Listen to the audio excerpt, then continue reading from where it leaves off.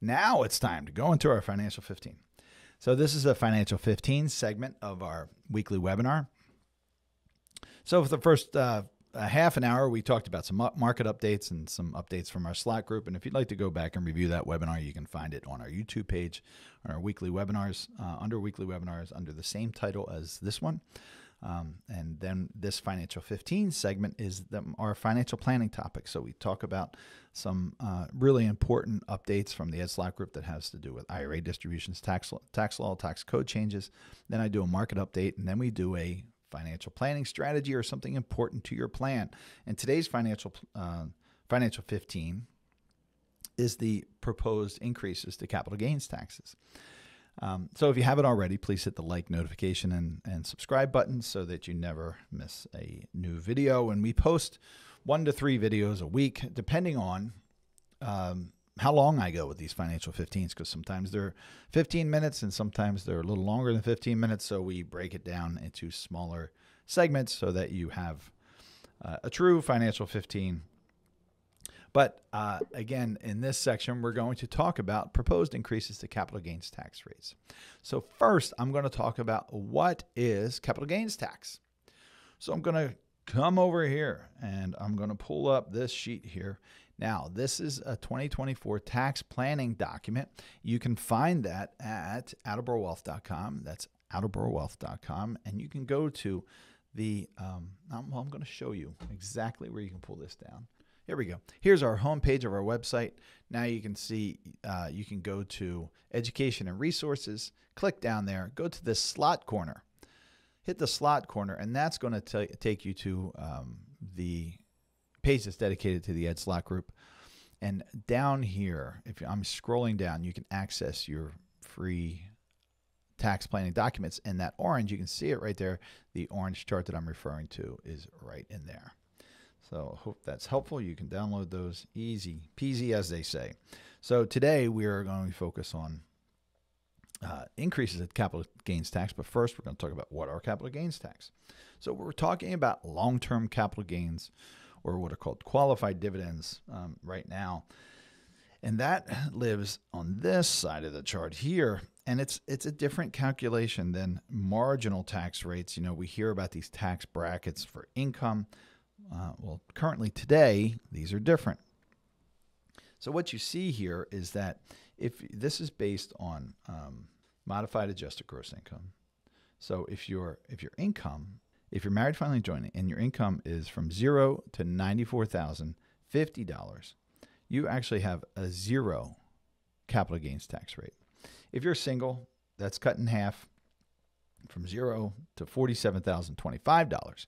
You're at um, zero capital gains tax rate.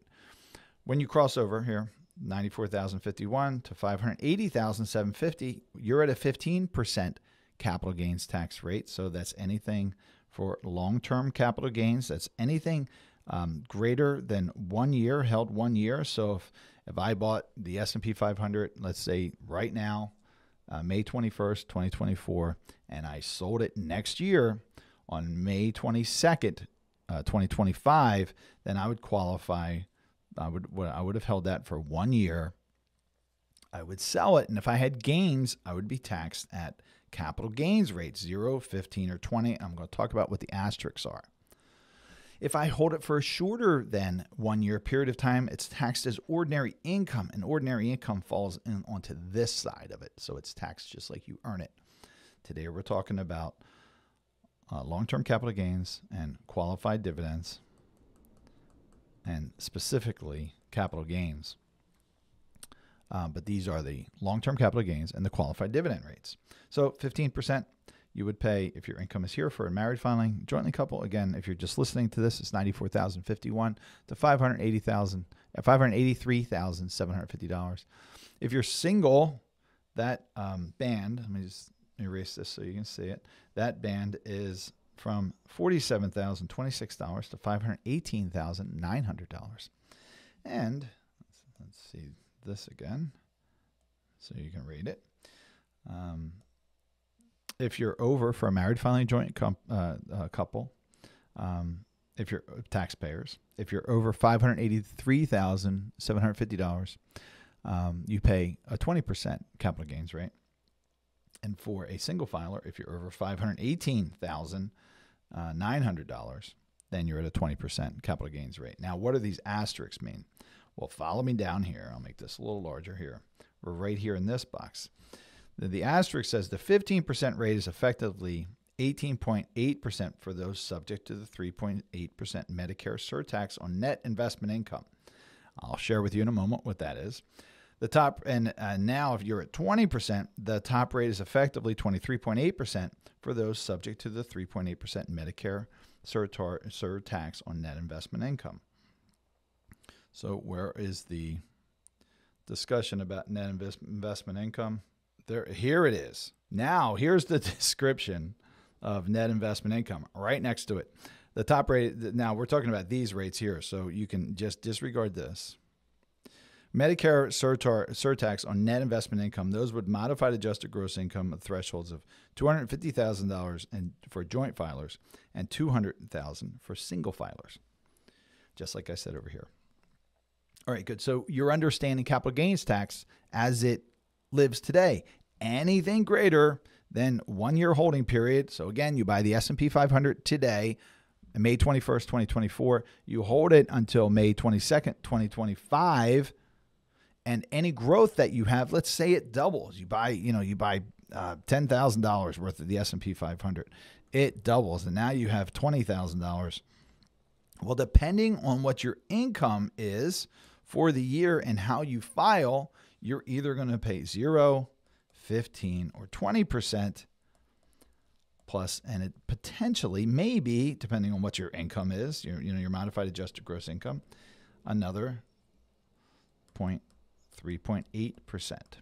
So that's referred to as a preferable rate because if this growth, this $10,000 that, that you have growth here, if it was all treated as ordinary income, well, then you potentially have a higher rate, right? So you go, you know, you, so let's take 94,000, 94,950. If, if you were earning 94,950, you would be right about here. You know, you'd pay some, some at 10, 12, 22, but that same growth could cost you about, you know, let's say, let's just call it 22%. It's really not, but um, let's just call it 22%, probably closer to 20% with the blended rate which is obviously a lot more than zero. And it's the same with these higher amounts 94,000. Uh, 051 is at 15%. And even if that was just, that was the linear, um, uh, if, if, you were earning $94,051, uh, you'd be really close to the 22% here. And, it, and that would still be less than 15, or it'd still be greater than 15%.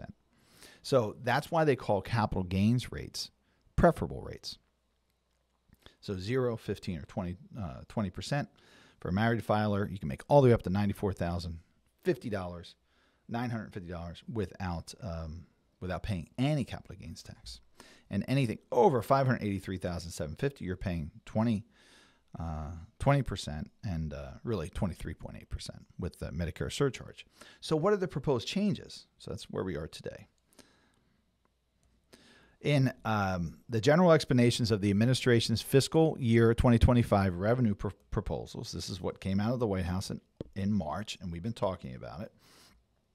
There are several changes to the tax code. We already talked about changes to contributions for Roth IRAs, um, the ability to convert Roth IRAs, and some of the changes around there.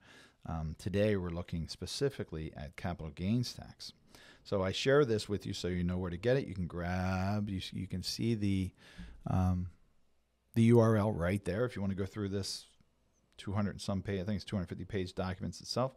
But if you look on page, this is page 80 of the document.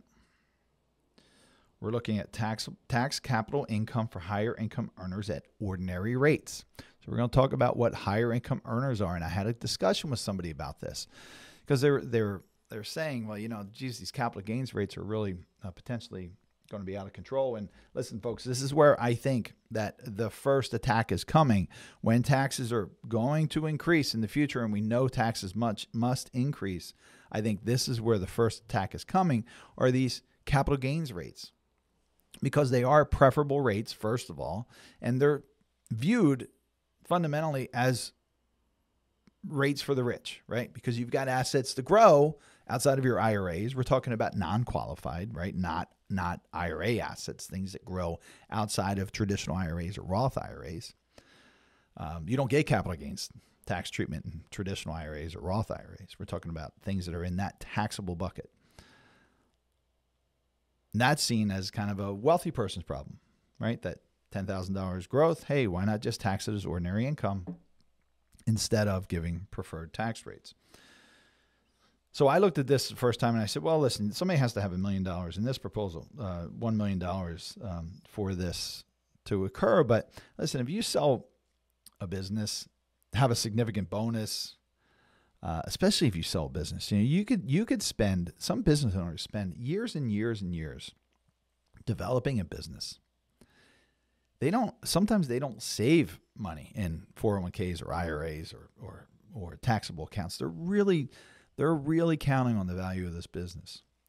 Um, and there's a lot of things that you can do to moderate the capital gains rates around the sale of that business. But this might completely, this kind of proposal could completely wipe that away and have it taxed at ordinary income. Um, so, you know, again, I think that the capital gains tax is probably the first target to be um, to be attacked, not not marginal tax rates, but capital gains tax rates. So, what's the proposal? Read with me here. Long term capital gains and qualified dividends of taxpayers with taxable income of more than $1 million will be taxed at ordinary rates, with 37% being the, the highest rate today. Now, it gets a little worse than that. Remember, right now we're talking that the highest rate is 23.8%.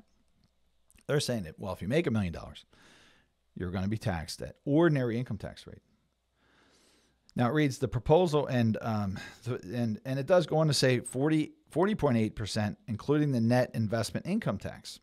So remember that's 37 plus 3.8. But again, it doesn't end there. We have got to go to the footnotes, right? Pay attention to that footnote. The proposal, and here's another footnote, 18.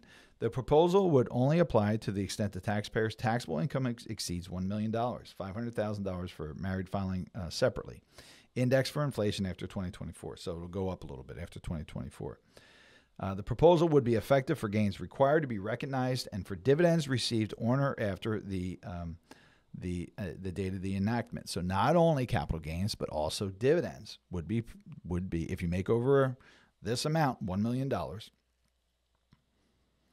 would be taxed at ordinary income tax rates. Now I know, and this was part of the discussion. So we're talking about, you know, sale of a business, big, big bonus. But the thing that concerns me about these proposals is that it typically starts very high and then creeps down. So could this land at a $400,000 number and affect many more people? I just don't know the answer to that. Um, the proposal would be effective for gains uh, required to be recognized, and I read that already, and for dividends received on or after the date of the en- enactment. So before I move on, let's go to these footnotes because that is the rates, right? Now remember, big change from that those preferable rates up here that I explained to you. Whoops, where'd that go? These preferable rates over here. Now, if you make greater than $1 million, it doesn't matter you're into these brackets here, which are much it's you you get taxed much higher at much lower levels. And of course, there's many more, you know, there's many more um, uh, brackets involved in here. So instead of you topping out at 23.8, you could go all the way up to 37%. Um, but again, it gets worse than that. Let's go to the footnotes. So here's the fir- first footnote 18. A separate proposal would first raise the top ordinary rate to 39.6. So up top there, they referred to 37%.